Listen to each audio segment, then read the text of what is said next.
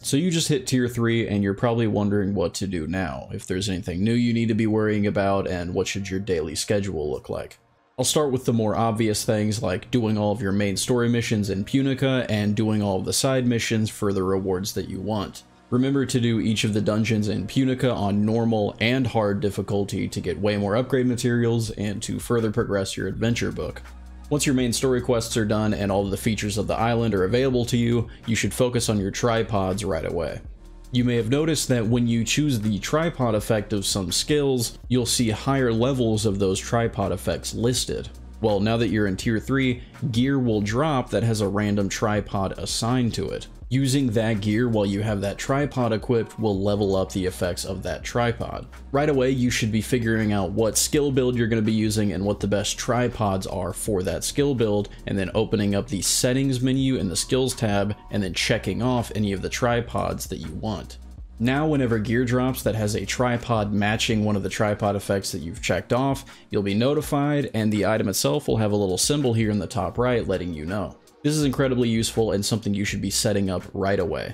As for your daily schedule, you should of course be doing the normal Chaos Dungeons, Guardian Raids, Una dailies, and whatever world events you can to get your character up to gear score 1325. All of the honing up to 1325 has a 100% success rate. After that, it drops down to 60%. And don't forget to use the gear transfer function to get a free plus one to all of your items. At 1325, you get access to the second level of Chaos Dungeons and access to the first Tier 3 Abyssal Dungeon, so it's a pretty comfortable place to stay at for a while. One thing I recommend focusing on are the new welcome challenges you'll get at tier 3. The gear upgrade ones in particular are super easy to do and give you a ton of leap stones and honor shards.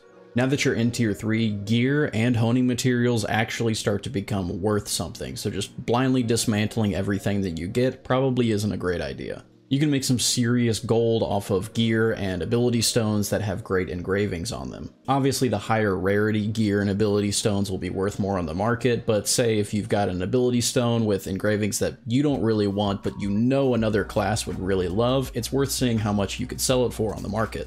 It's at this point in tier 3 that you can make a decision to either primarily focus on making a lot of gold or primarily focus on upgrading your character. Since Amazon is for sure going to hold off on any late tier 3 content for a while after the Argos controversy, I'm focusing on making gold and getting all of my alts up to tier 3.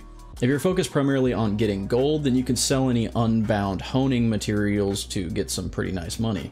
And any extra materials you have that are character bound can be used to fail some more upgrades. One new piece of repeatable content that you should be doing each day is going to Anguished Isle, which is here on the map.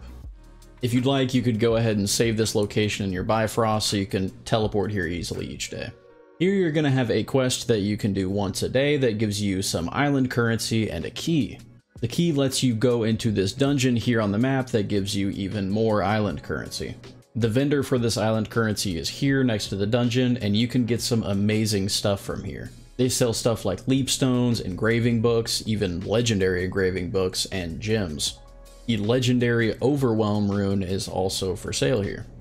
These items aren't roster bound either, so you could totally just buy some legendary engraving books and sell them on the market for some fat cash. If I was a redditor, I'd put the stonks meme here and I'd get epic Reddit gold for it, but you're going to need these legendary skill books eventually though, so it's up to you whether or not you want to sell them or see if you've got the willpower to hold on to them for that long. It's possible to do this island quest before you hit tier 3, but most of the good stuff for sale at that vendor has an eye level requirement, so I don't really think it's worth the hassle. The other island worth mentioning is Illusion Bamboo Island, which is here on the map. It'll give you some honing materials for tier 3. Since you're at the end of the game for now, horizontal content is what you should be focusing on. Rapport levels, stronghold and life skill stuff, getting cards and collectibles, and plenty more. Remember to use the codex to find whatever you're looking for. Alt plus D at the same time, and you can find literally anything you're looking for here. Outside of all that, your game plan should be the same as always until we get some new content. Luckily, we only need to wait for it to be translated, so we're not going to wait too long. Also, if a class that you're looking forward to playing has been announced, then it's probably a good idea to go stockpile on tier 1 and tier 2 honing materials if you're planning on leveling them up manually. That's pretty much everything. Thanks for watching. Join my community Discord if you love Lost Ark or you haven't been hugged in over a year. Love you guys as always, and I will see you in the next one.